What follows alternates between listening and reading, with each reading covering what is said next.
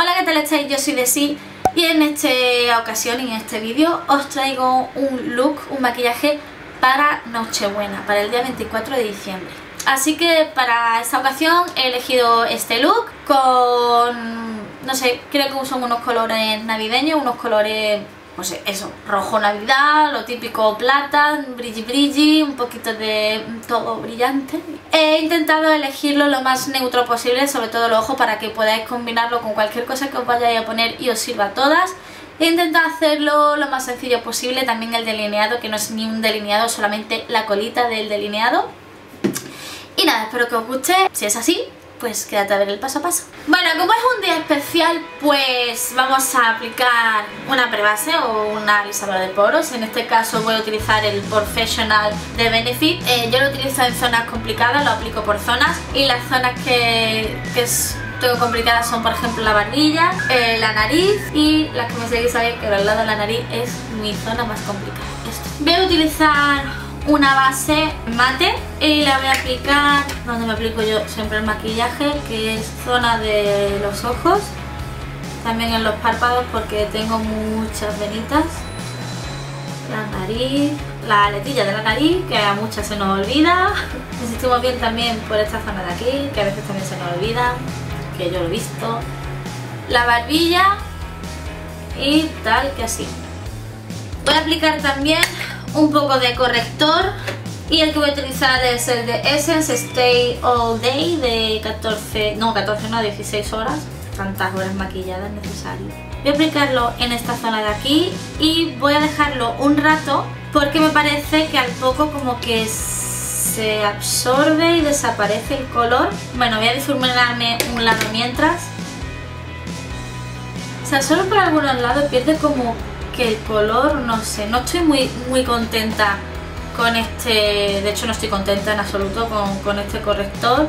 Se lo vi a una chica extranjera en YouTube que decía que era la rehostia, pero no, no, no noto que haga nada, es decir, no noto ni siquiera que tenga más producto, nada, ni, ni color, ni nada. Como si no me hubiera echado nada. Como si no llevara nada. Ok, voy a utilizar unos polvos sueltos, translúcidos Podéis usar pues el que tengáis para quitar brillitos. Como veis no me he hecho maquillaje ni en la frente ni en esta zona porque no lo veo necesario. Tengo esa zona bien, no tengo ninguna imperfección, no tengo nada. Así voy lo más natural posible, ya me está llorando el ojo. Voy a continuar con la ceja, a ver si en este rato pues se me quita el lagrimeo del ojo. El lápiz de ceja, el que siempre utilizo, el 401 de Flormar. Defino la zona de abajo primero, luego la zona de arriba, le doy la forma y relleno lo que, lo que tenga y lo que deba de rellenar. Peino un poquito.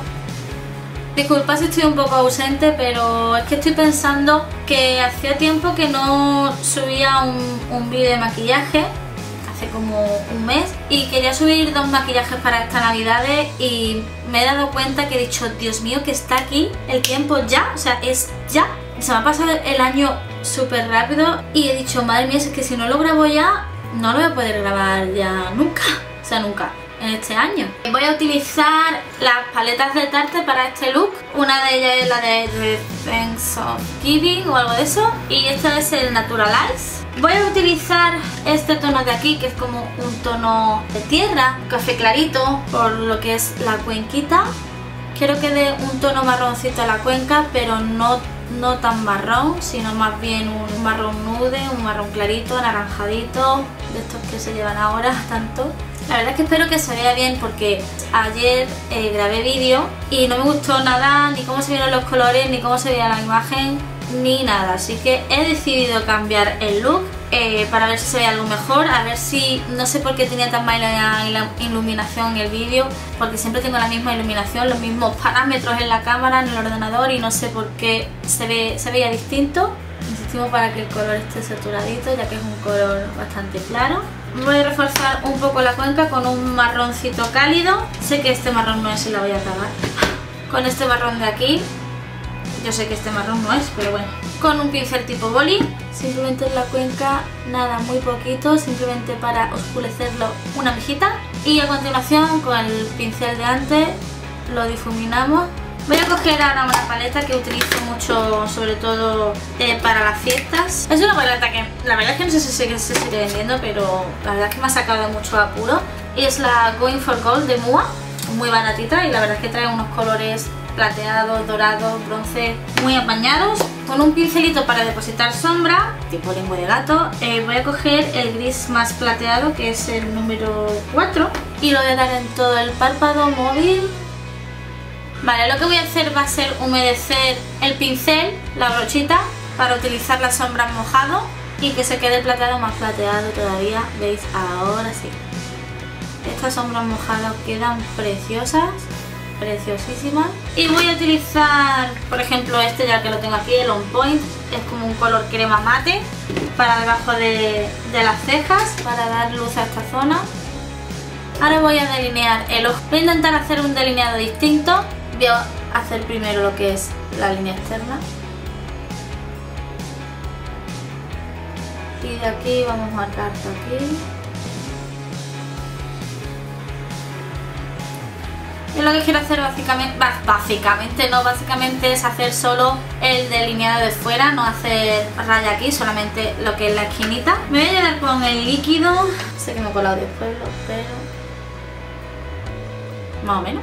Voy a hacer el otro ojo. Un buen truco para delinear el ojo es hacerlo justo con un, espejo justo enfrente, no ni abajo, ni arriba, ni nada, justo enfrente, que esto estés mirando de frente es la mejor posición. Si no tuviera un párpado tan complicado, todo sería mucho más fácil. Pero bueno, no pasa nada.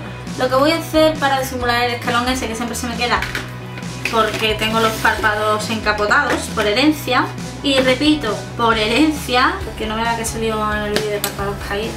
¿Cómo puedes decir que tienes los párpados caídos con lo joven que eres? Porque es por herencia, lo dije en el vídeo, por herencia. Voy a dar un poco de oscuridad en la esquinita con una sombrita marrón, una sombrita negra para disimular ese escaloncito. Nada, solamente un poco. Voy a aplicar con una sombrita marrón y lo voy a aplicar con una brochita así bien selada como la de la ceja esta de las cejas, yo lo sé.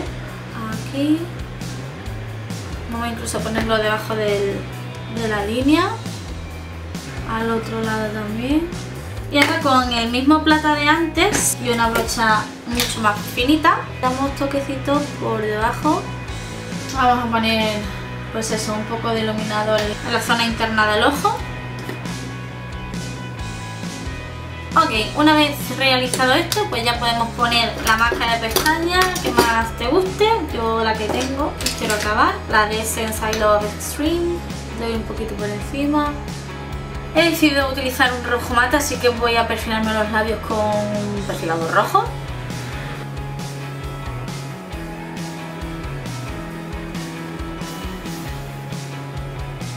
Ok, voy a utilizar eh, un rojo mate en este caso es el Make Me de Sleek, el color Rioja Red. Más que un Rioja Red es rojo Navidad, vamos, porque esto de Rioja tiene poco.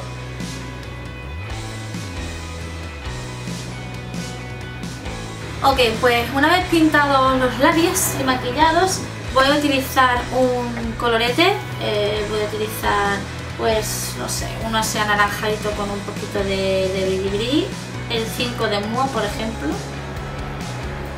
Voy a utilizar también los polvos compactos blanquitos de Formar. Lo aplico en la zona alta del pómulo. Y por último voy a dar un poco de, un poco bastante, ya que la ocasión lo requiere, iluminador, que mi favorito es el el Golden Lights de Golden Lights de la Revolution, ya sabéis los Baked Highlighters. Me gustan mucho. A que me da coraje porque en vídeo y foto no se aprecian, pero es que si se aprecia mmm, estoy ya embadurnadísima en iluminador. Pero bueno, me voy a embadurnar para que se note. Es que como soy tan blanca, pues no se me ve. Pero en persona, hacedme caso que se me ve.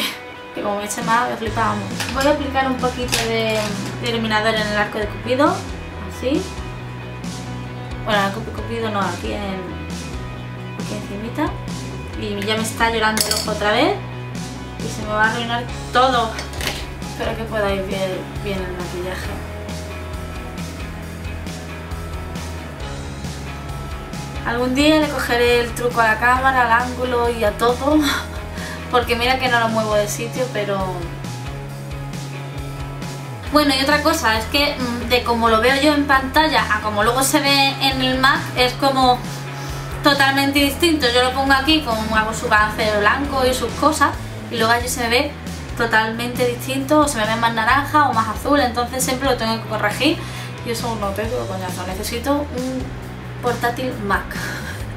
Necesito tantas cosas en la vida. Este es el look eh, que he elegido para Nochebuena. Espero que os haya gustado el look y nos vemos el siguiente que yo creo que será ya el siguiente, sí, el siguiente vídeo será un maquillaje para Nochevieja que este sí que lo tengo bien pensado y, y, la verdad es que va a ser algo distinto porque voy a dejar todo lo mate atrás, incluso los labiales mate los voy a dejar olvidados aunque os voy a dar un truqui para que el brillo sea lo más permanente posible. Así que nos vemos en el próximo vídeo. Chao.